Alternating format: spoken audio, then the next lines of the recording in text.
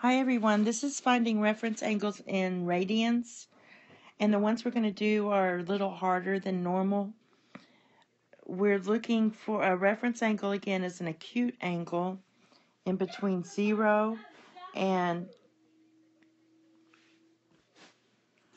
it's an acute angle between um, 0 and pi over 2 and remember that the quadrantals are not reference angles. So um, I already did the video before this. We're finding reference angles in degrees. So put the formulas here that you use and let's look at some examples. I'm going to do six examples. So right here we have 16 pi over 11. So I know my reference angle is going to be in between um, 0 and pi over 2. So what I'm going to do we know this is 0 pi over 11. This would be um, 5.5 pi over 11 because that would give you pi over 2. This would be 11 pi over 11. Now this side over here is also 22 pi over 11 because that gives you 2 pi. So what I do is I take the midpoint of these two to find this one. So I just add 22 plus 11 over 2 and that's going to give me 16.5 over 11. So I know I'm very close to here very close. I didn't make it close, but there we go. So my reference angle is going to be going up in here. So all I'm going to do, I know that I'm in quadrant 3, so I use my formula uh, for quadrant 3. That's going to be um, pi minus theta. So, no, it's theta minus pi, sorry. No, it's pi minus, no, it's oh, what is it? So quadrant 3 is theta minus pi. So we're going to do theta minus pi. My theta is 16 pi over 11 minus pi, that's my pi, 11 pi over 11. Gives me 5 pi over 11 which makes sense because we were off by a half on this. So 5 pi over 11 is very close to, to here. And that's your reference angle. The next one we're going to do is 9 pi over 2. I know right away that here, to get 2 pi, this would be 8 pi over 2. No, this would be 4 pi over 2, sorry. This would be 4 pi over 2. And so I know right away that this is not in between 0 and 2 pi. So what I'm going to do is subtract 4 pi over 2 and make a coterminal angle. When I do that, I get 5 pi over 2. Well, that's still bigger than 4 pi over 2, so I'm going to subtract uh, 4 pi over 2 again. And that gives me pi over 2. And we have pi over 2. That's a quadrantal. Your quadrantals are 0, pi over 2, pi, 3 pi over 2, and 2 pi. There's no reference angles for those, so the reference angle for 9 pi over 2 does not exist. And just for drawing purposes, what 9 pi over 2 looks like, basically it's 2 pi plus another 2 pi plus pi. So that's that's 9 pi over 2. The next one we're going to do is 16, negative 16 pi over 7. Right away I know that that's not in between 0 and 2 pi. So um, 0 and 2 pi in this term would be, um, with 7 in the denominator, would be 14 pi over 7. So I'm going to add 14 pi over 7. And you get negative 2 pi over 7. And I'm going to add another 14 pi over 7 because we're still not in the range. And that gives me 12 pi over 7. Alright, so I this definitely is not in quadrant 1.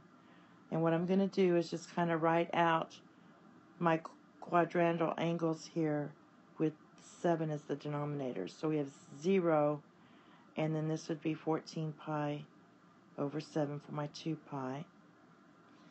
Over here, erase this a little, this would be 7 pi over 7.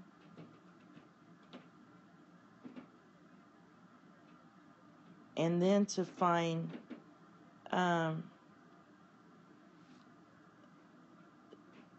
um, I'm not even going to bother with this one. So I got to find out does it lie in quadrant 3 or quadrant 4? And you know the midpoint, the 12, it's going to be more closer to um, what we're looking for. The 12 is going to be in quadrant 4. So I'm not, not even going to take the midpoint because I know it's that's closer to 14 than 7. So I'm going to use 2 pi, my formula for quadrant 4. That's 2 pi minus, um, 12 pi over 7. Which is 14 pi over 7 minus 12 pi over 7. Which gives me 2 pi over 7 and that's definitely in the first quadrant. So that's my reference angle.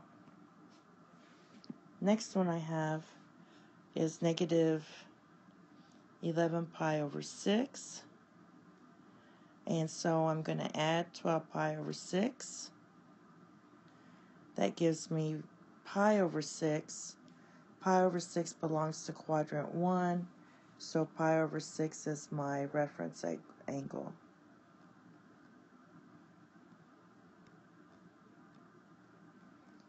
Okay, the next one I have is, um, just go to another page. Um, I have 36 pi over 13. I know my 2 pi is 26 pi over 13. Um, so I'm going to get 10 pi over 13. So I know that this is workable because 12, uh, 10 pi over 13 is in between, I shouldn't have put equal there, it's in between 0 and 26 pi over 13. So I'm going to get a quick, try to figure out what quadrant we're in.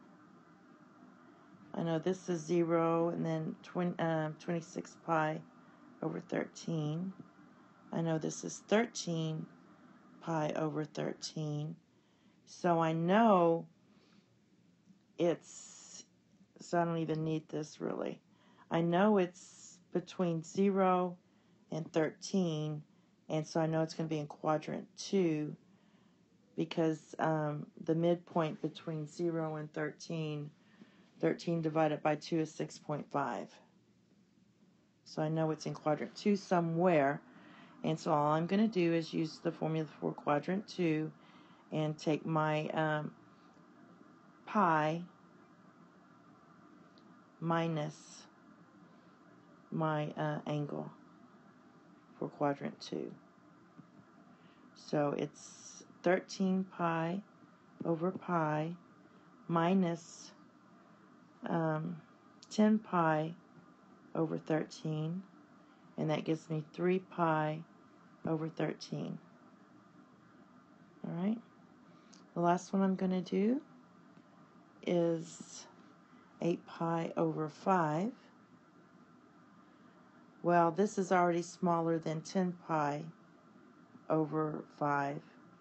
10 pi over 5 is 2 pi. So now I just have to figure out what quadrant I'm in. I don't have to make it coterminal. I know this is uh, 0, uh, 10 pi over 5. I know that this is 5 pi over 5. So I know it's in this area here. The midpoint between 10 and 5 is 7.5 pi over 5.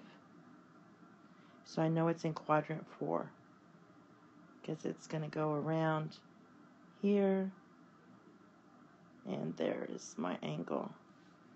So what we're going to have is um, 360 or not 360 but 2 pi minus 8 pi over 5. This is 10 pi over 5 minus 8 pi over 5 and this equals 2 pi over 5 and that would be my reference angle. I hope this video helps.